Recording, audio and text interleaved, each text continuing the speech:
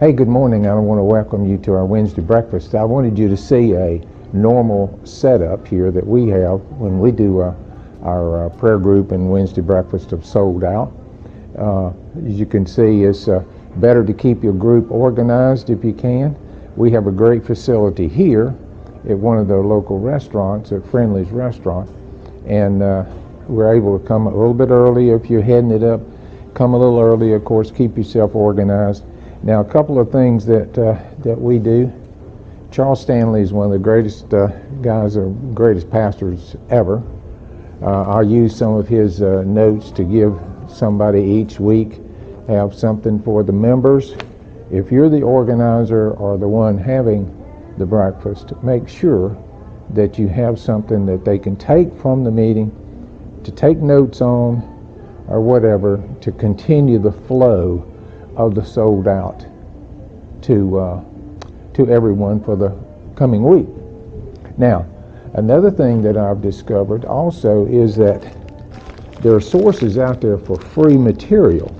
Anyway, there are so many materials out there now that are available to you. This is the In Touch um, devotional for the month. This is this is free for churches, etc. Uh, I'll have try to put the contact information and so forth there for you, but you can uh, you can have this to hand out to people. The one thing about the sold out program that I want you to understand is that this is a, a way of life change. This is not just a Sunday morning thing that you go to and uh, you know and everybody feels good about the fact they went to church on Sunday. This is a, a sold out is a life changing uh, thing, and that's what we're trying to get across is not only to realize what you believe, why you believe it, and how to implement it into your life. That's what sold out is. That's what the badge is.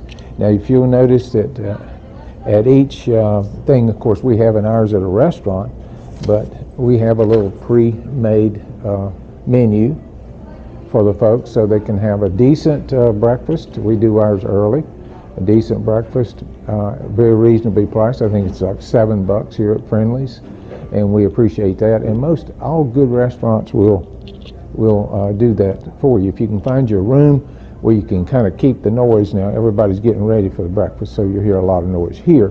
But other than that, uh, most of the time it's really good. Now, you can do this in your home. You can do it at night. You can do it as a Bible study or whatever. But sold out badges. I try to put one at each person's uh, plate and encourage them to take badges with them to draw other people in. When you use this badge, it creates a, uh, a feeling of curiosity that people want to know what that means, what it stands for, and so forth. So utilize the badges also.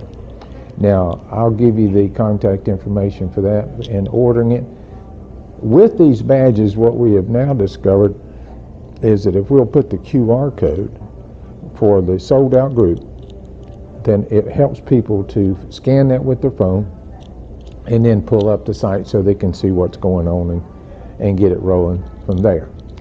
Uh, other than that, our Wednesday breakfast, this is kind of what you see is the way we set it up and so forth with uh, a devotional that they can carry with them.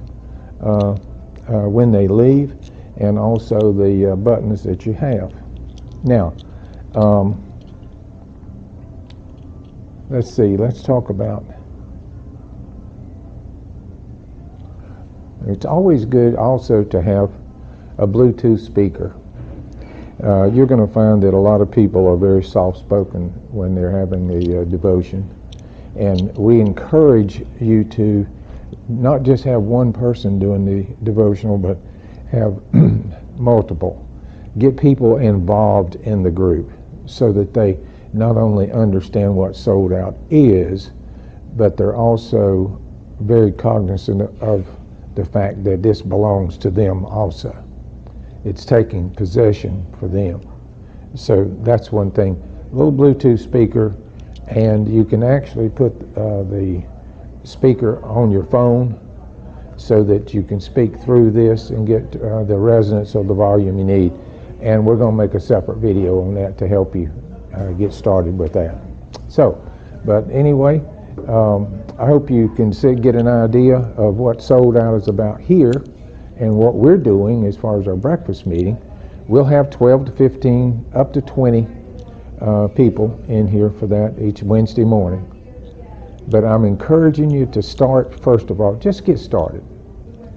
It'll take place from there and let God take over. Thank you for joining me this morning.